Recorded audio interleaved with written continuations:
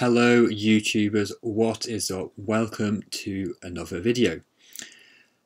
And where are we today? Well, we are on in a beautiful spring day, the sky is blue, we are in lockdown, the tree is blossoming outside, it is truly beautiful. But inside my computer, we are in VS Code. And what does that mean for you? It means it's time for another Haskell IDE update.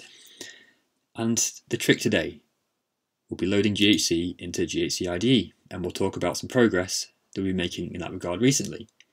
So I load my GHC tree into GHC IDE. Let's see how we get on. In the last few months, myself and Pepe Iborra and a few other people have been working on making GHC IDE work better with big projects.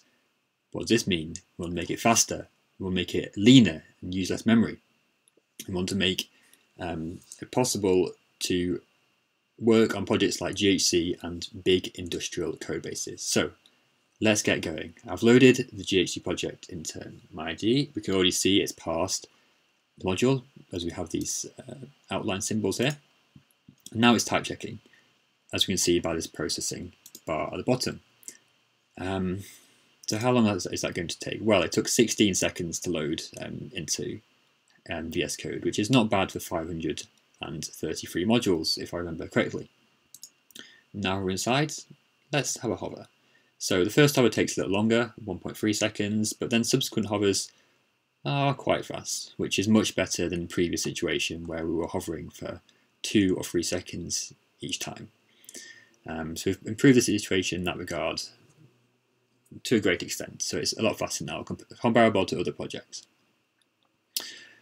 Right, so we can we've loaded into the IDE how much memory we're actually using. Here, let's look. So going to HTOP and well, we're only at 2.5 gigabytes out of 16 gigabytes of memory.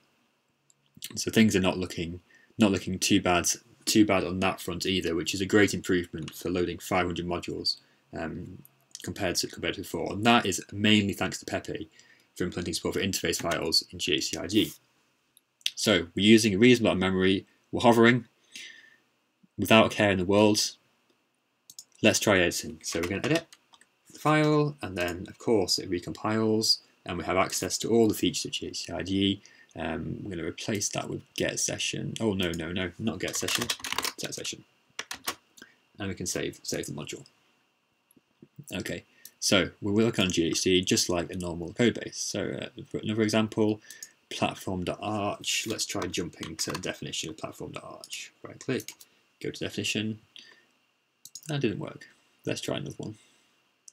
Um, tables next to code, will that work? Okay, so yes, I jumped table to next to code, which is in the GHC driver session. .hs, which used to be called DynFlags. Rest in peace, DynFlags. And we can hover over things in this module as well. Of course we can. Of course we can. Um, platform MISC, where's that defined peak? Peek definition.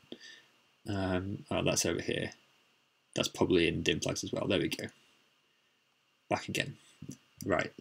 So everything in like normal works in works in, in the IDE, it uses vSmart memory, it's ready, it's ready for prime time. That's not all. Recently, I've been implementing multi-component support in GHCIDE, and, and even more recently, I have modified GHC's build system to support multi-component GHCIDE. What does this mean? Well, the GHC project is split into components. For example, the, the template Haskell library, which is depended on by the main GHC library. Now I'm going to open a file in the template Haskell library, syntax.hs. So this contains the definition for all template Haskell um, AST stuff.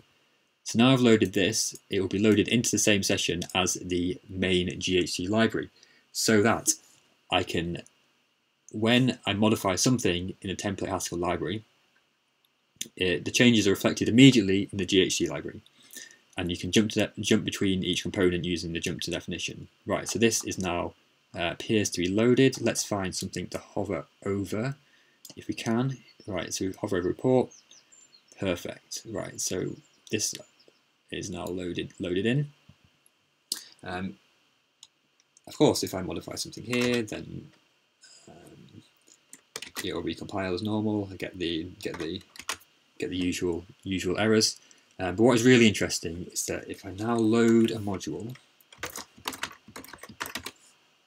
from GHC itself, which depends on template Haskell module, then I'll be able to jump back directly back to where we just where we just came from. So in this module, is this the TH template Haskell to HS module turns a template Haskell AST into a into a um, GHC's AST. Okay, so this type new type instd is defined in the template Haskell component, and previously Pekin's definition would not work, but now it does. So that's a that's a huge huge positive for, for mankind. I can look at the definition from from the number components, um, and likewise and similarly I can jump to the definition into the template Haskell syntax library, as we can see from this path, is in a completely different separate component. Okay, and if I was to modify the syntax.hs module in some manner, for example, if I decided that I did not want to import, export foreign source line, then maybe this won't break anything. But if it did break anything, then it would report the fact that um, the module from the GHC library did not, didn't, now didn't compile. So changes are immediately reflected in the, in the other component. Right, so that's, that's what I wanted to show you. Hardware performance is now reasonable, memory usage is now reasonable, multi-component is now usable. Um, and how, let's just dive into a bit to how this works. So, um, how does this work? So I've modified the Hadrian build system to add a new target, which when you call it, it it puts the arguments for that component into a file specified by the, the hie-bios output environment variable.